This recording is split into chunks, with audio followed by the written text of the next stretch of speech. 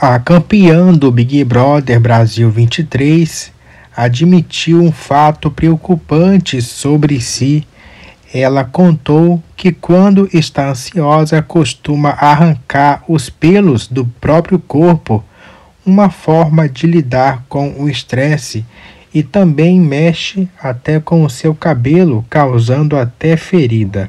Apesar de Amanda não ter falado se recebeu o diagnóstico, a mania de arrancar os pelos do próprio corpo, na verdade, é um transtorno comportamental conhecido como tricotilomania. Esse distúrbio desencadeia uma, uma vontade quase incontrolável de arrancar os pelos do corpo e afeta cerca de um quarto da população, de acordo com a Organização Mundial de Saúde.